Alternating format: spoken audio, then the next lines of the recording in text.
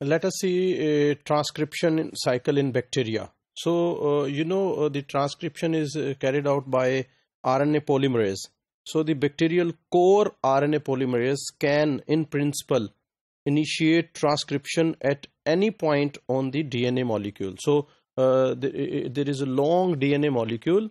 So, this RNA polymerase can uh, start transcription at any point.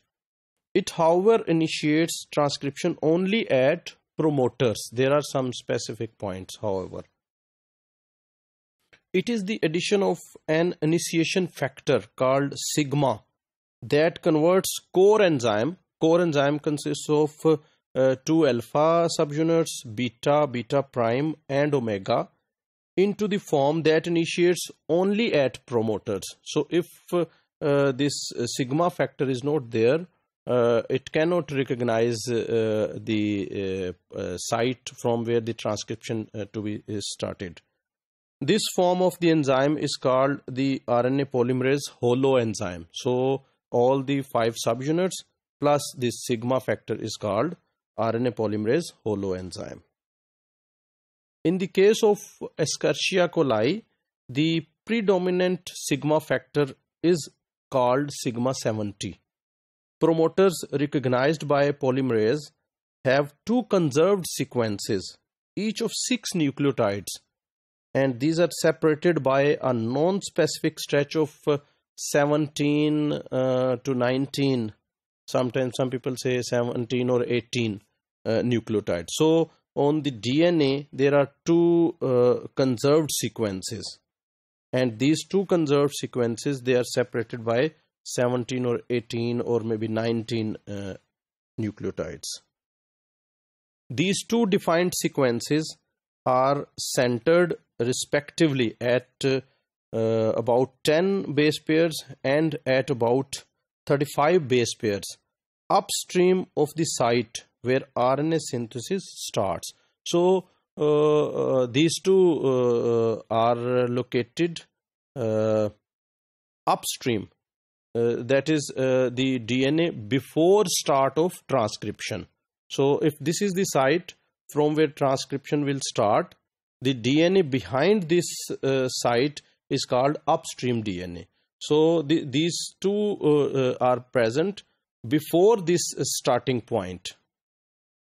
These sequences are thus called minus 35 and minus 10 regions or elements because they are minus then transcription region.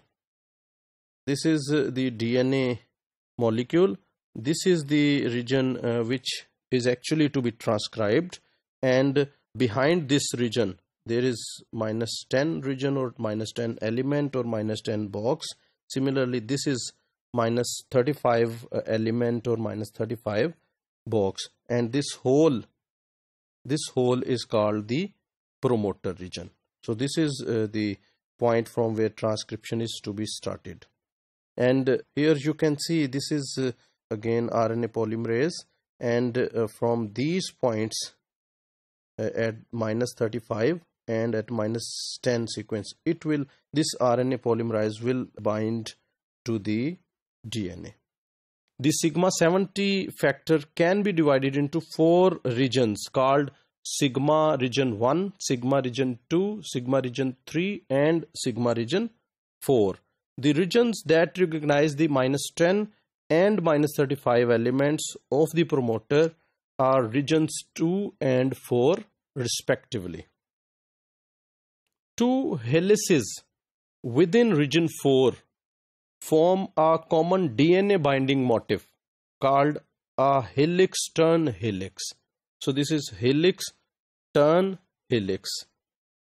So uh, this is in the region 4 of uh, sigma factor. One of these helices insert into the major groove and interacts with the bases in the minus 35 region. So uh, uh, this is the region 4. It contain one uh, helix, one turn and the second helix. Okay so this uh, will bind to the minus 35 region and this one helix will insert into the groove major groove of the DNA you you uh, uh, might be remembering the major groove and minor groove in the structure of uh, uh DNA, in the double helix of DNA. So uh, the first helix inserts into the major groove and interacts with the bases of minus 35 region. The other helix lies across the top of the groove, making contacts with the DNA backbone. So the other helix will only interact with the backbone of the DNA. So this is the helix turn helix. So this is one helix and this helix interacts with the bases of uh, minus 35 region. This is turn and this is the second uh, helix second helix only interacts with the backbone of the DNA so this is helix turn helix. The minus 10 region has a more elaborate role in transcription initiation because it is within that element that DNA melting is initiated in the transition from the closed to the open complex. So this is the region where DNA starts separating. Thus, the region uh, of sigma that interacts with the minus 10 region is doing more than simply binding DNA.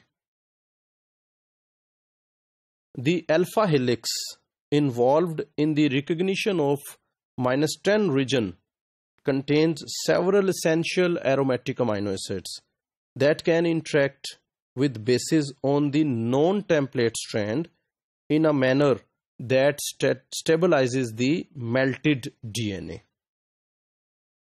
Two bases in the non template strand are flipped out and inserted into the pockets within the sigma protein where they make favorable contacts that stabilize the unwound state of the promoter region the sigma subunit is positioned within the holoenzyme structure in such a way as to make feasible the recognition of various promoter elements.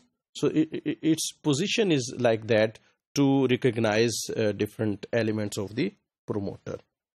Thus, the DNA binding regions point away from the body of the enzyme rather than being embedded. That is the DNA binding regions they point away from the body of the enzyme